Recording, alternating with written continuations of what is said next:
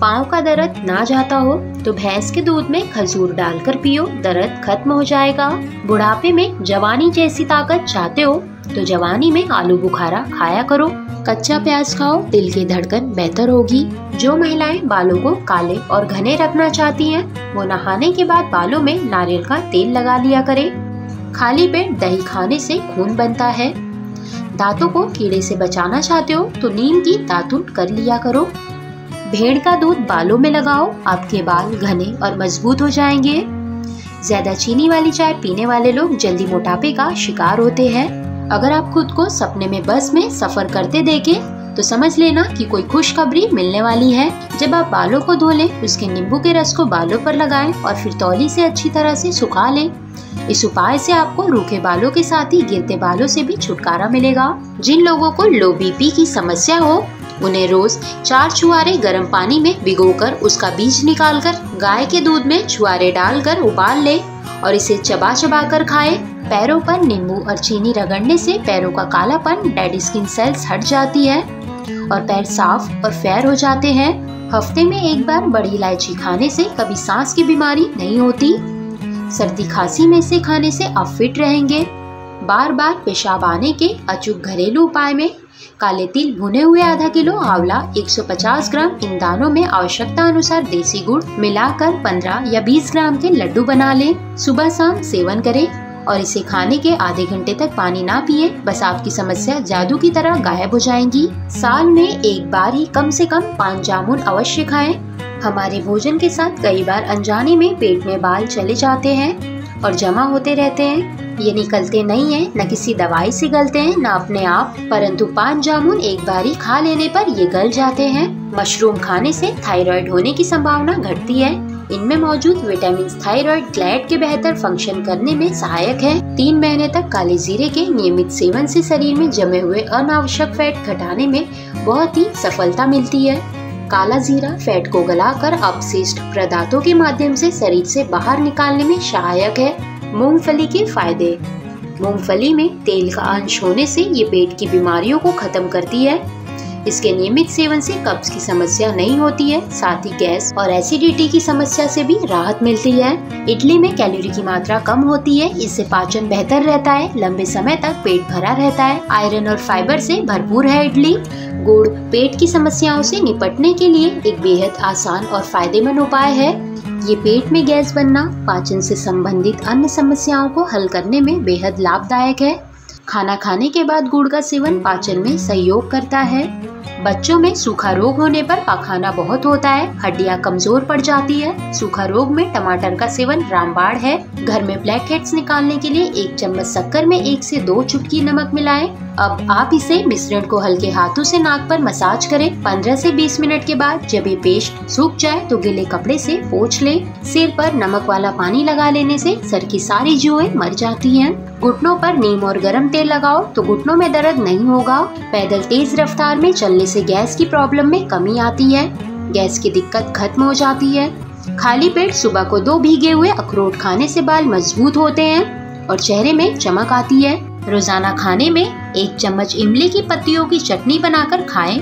इससे भूख बढ़ने लगती है और खाना भी जल्दी हजम हो जाता है। इलायची का सेवन करने से मुँह और गले में मौजूद बैक्टीरिया खत्म हो जाते हैं। इससे मुँह और गले का इन्फेक्शन होने का खतरा कम हो जाता है। रात को सोने से पहले इलायची का सेवन आपके मुँह को रिफ्रेश कर देता है। इसे खाने के बाद मुँह से आने वाली प्याज और लहसुन की दुर्गंध खत्म हो जाती है। आपको जानकर हैरानी होगी कि आप वैसलीन की मदद से चेहरे के लिए स्क्रब बना सकते हैं। इसके लिए आपको वैसलीन में थोड़ा सा नमक मिलाकर त्वचा पर लगाना है और हल्के हाथों से मसाज करनी है। अगर आपको बार बार बुरी नज़र लग जाती है तो आपको सोते हुए तकिए के नीचे पीपल का एक पत्ता रखना चाहिए। सुबह इसे पानी में बहा दे। इलायची का सेवन पुरुषों में पुरुष शक्ति को बढ़ाने के लिए भी किया जाता है। इसका लगातार सेवन आपकी पुरुष शक्ति को कई गुना बढ़ा देता है। रात में सोते वक्त आठ से दस गिरी बादाम की भिगो दें और फिर सुबह उठकर छिलका हटाकर खाएँ। और ऊपर से गाय का दूध पी लें, इससे आँखों की रोशनी तेज होती है। सिर पर रोज़ाना तेल मालिश करने से सिर दर्द, गंजापन, कमाइयों में बाल सफ़ेद और झड़ने आदि की शिकायतें दूर हो जाती है। रोटी को दूध में डुबोकर खाने से बीमारी दूर रहती है और चमड़ी बूढ़ी नहीं होती। जिन लोगों को सर्दी जुकाम ज़्यादा होता है, उन्हें अपनी डाइट में अंडे का सेवन ज़रूर करना चाहिए, क्योंकि इससे शरीर को गर्माहट मिलती है। प्रेगनेंसी की पहली तिमाही में भ्रूण अस्थिर होता है और गर्भपात का खतरा ज़्यादा होता है। इसलिए ज़्यादा देर तक एक ही स्थिति में बैठने, लगातार खड़े रहने और लंबी यात्रा से बचे। झटकों या सफ़र की थकान हानिकारक साबित हो सकती है। किसी भी तरह की त्वचा संबंधित समस्या हो या फिर चेहरे पर नेचुरल ग्लो लाना हो, गर्म पानी इसका सही उपाय है। रोज सुबह सुबह गर्म पानी पीना शुरू कर दे। थोड़े ही दिनों में आपकी स्किन ग्लो करने लगेगी। और कील मुहासे और पिंपल से भी छुटकारा मिल जाएगा। किसी भी सब्ज़ी का तड़का लगाते समय तेल में सबसे पहले हल्दी पाउडर डालें। इससे गर्म तेल के छींटे नहीं उड़ेंगे। अगर आपकी ओरल यानी मुँह की सेहत अच्छी है तो आपका शरीर भी स्वस्थ रहेगा। इसलिए दिन में दो बार ब्रश, जबान को साफ़ और डेंटल से स्वास्थ्य से जुड़े ज़रूरी कदम ज़रूर उठाएँ। रोने से आपको अच्छा महसूस होता है और तनाव कम होता है और शरीर को स्वस्थ रखने में मदद मिल सकती है। अगर आपका पेट ज़्यादा बढ़ रहा है तो लहसुन के रस से पेट पर मालिश करें। इससे बढ़ता हुआ पेट कम होने लगेगा। शावर में गाने से आपकी रोग प्रतिरोधक क्षमता बढ़ती है। आपका रक्तचाप कम होता है, तनाव कम होता है और आपका मूड अच्छा होता है। यदि आपको खाना खाने के बाद खट्टी डकार आने की समस्या है तो प्याज पर काला नमक और नींबू लगाकर खाएँ। इससे बदहजमी नहीं होगी।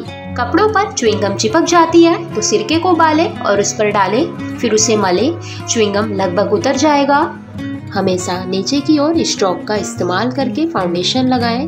ज़्यादातर लोगों के चेहरे पर बालों की एक पतली लेयर होती है और ऊपर की ओर स्ट्रोक में फाउंडेशन लगाने से बालों की किस्में बाहर खड़ी हो जाती है। ऐसे में चेहरा देखने में अच्छा नहीं लगता। इलायची बच्चे के लीवर के कार्य में सुधार को बढ़ावा देती है। ये विटामिन ए से भरपूर होती है, जो कि स्किन को हेल्दी रखता है। विटामिन ए आँखों के लिए भी अच्छा होता है। इससे शरीर इन्फेक्शन से भी लड़ पाता है।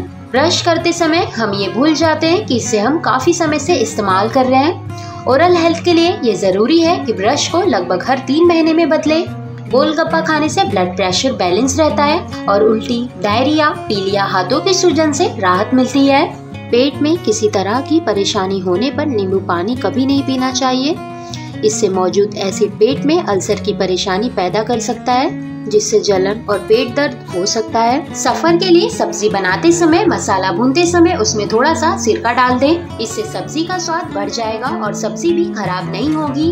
हल्दी के दूध का आयुर्वेद में बहुत ही बड़ा योगदान है और इसके बहुत से महत्व है।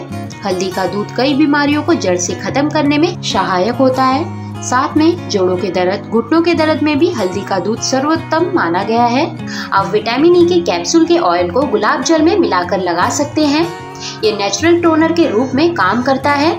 इसे लगाने से होठ का कालापन दूर होता है। मूंगफली का ज़्यादा सेवन करने से कई तरह की एलर्जी भी हो सकती है। ऐसे में स्किन से जुड़ी समस्याओं में आपको इसके सेवन से बचना चाहिए।